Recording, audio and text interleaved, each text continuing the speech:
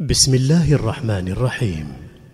المكتبة الصوتية لمعالي الشيخ الدكتور صالح ابن فوزان الفوزان. حلقات من أحكام القرآن الكريم للشيخ صالح ابن فوزان الفوزان. تفسير سورة النساء. الدرس الثامن. بسم الله الرحمن الرحيم.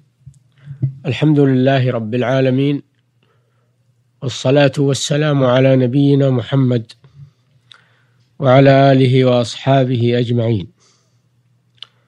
نواصل الحديث في برنامج من أحكام القرآن الكريم.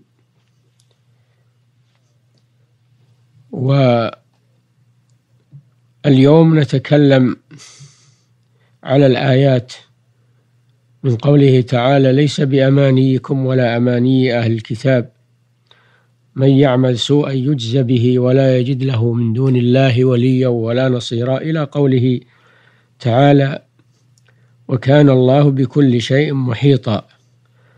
أربع الآيات. فقوله تعالى ليس بأمانيكم. الأماني جمع أمنية وهي ما يتمناه الإنسان.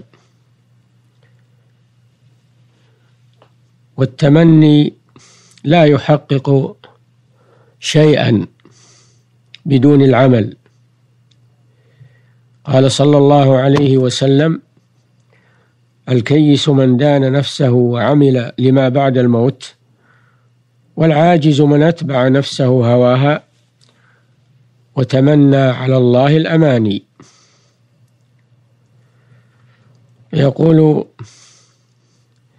يقول الإمام التابعي الجليل محمد بن سيرين رحمه الله ليس الإيمان بالتحلي ولا بالتمني ولكنه ما وقر في القلوب في القلوب وصدقته الأعمال.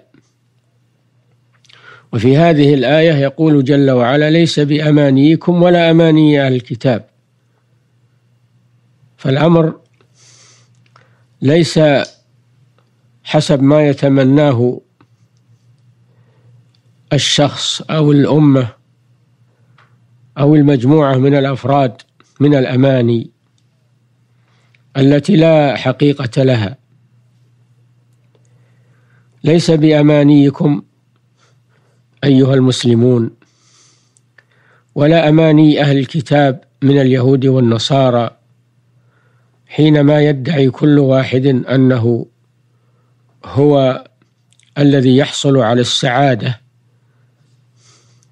وأنه هو المقدم عند الله عز وجل بدون عمل يؤهله لذلك. فاليهود والنصارى يقولون نحن أبناء الله وأحباؤه ويقولون لن يدخل الجنة إلا من كان هودا أو نصارى. ويقولون لن تمسنا النار إلا أياما معدودات. إلى غير ذلك من أمانيهم الكاذبة. فالله جل وعلا نفى هذا كله. فقال ليس بأمانيكم ليس الأمر بأمانيكم ولا بأماني أهل الكتاب. فلا يحصل بالأمان شيء من المحبوبات واندفاع المكروهات بدون عمل يحقق ذلك. ولا يكون العمل محققا لما يتمناه الإنسان إلا إذا كان عملا صالحا. يرضاه الله جل وعلا. مما شرعه على ألسن أنبيائه عليهم الصلاة والسلام. ولهذا قال من يعمل سوءا يجز به سواء من المسلمين أو من اليهود أو من النصارى أو من أي نوع من البشر. من يعمل سوءا والسوء هو العمل غير المشروع. أشده الشرك بالله عز وجل وأدناه صغائر الذنوب. في هذه الآية أن الله جل وعلا أخبر أنه من يعمل سوءا سواء من المسلمين أو من أهل الكتاب يجزى به. لأن الله سبحانه وتعالى لا يحابي أحدا. ولما نزلت هذه الآية شقت على كثير من الصحابة رضي الله عنهم. من يعمل سوءا يجزى به لا أحد يسلم من شيء من المخالفات. وهذه الآية تدل على أنه يجزى على كل مخالفة ولو صغرت. فجاءوا إلى النبي صلى الله عليه وسلم يشكون ما يجدون. فالنبي صلى الله عليه وسلم أمرهم بالتسليم والإيمان وعدم الاعتراض على الله سبحانه وتعالى. ثم بين أن ما يصيب المسلم في هذه الدنيا فإنه مما يكفر الله به خطاياه. حتى الشوكة يشاكها وحتى إذا أصابه الهم والغم فإن ذلك مما يكفر الله به عنه خطاياه في هذه الدنيا.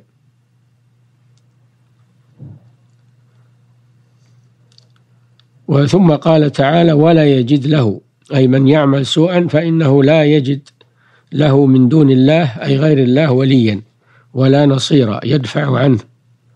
هذه المجازات. فليس له ولي يحقق له ما أراد من أقاربه وأصدقائه. وليس له نصير يدفع عنه ما ما يكرهه. فإن الدار الآخرة ليس فيها مناصرة أحد لأحد. ولا أن أحدا يجلب نفعا لأحد في الدار الآخرة. يوم يفر المرء من أخيه وأمه وأبيه وصاحبته وبنيه لكل امرئ منهم يومئذ شأن يغنيه. فلا أحد يحقق له ما يريد ولا يدفع عنه ما يكره في الدار الآخرة ولا يجد له من دون الله وليا يتولاه ولا نصيرا يدافع عنه ويحميه. بل سيواجه عمله الذي قدمه في هذه الدنيا ويتلقى جزاءه من الله سبحانه وتعالى.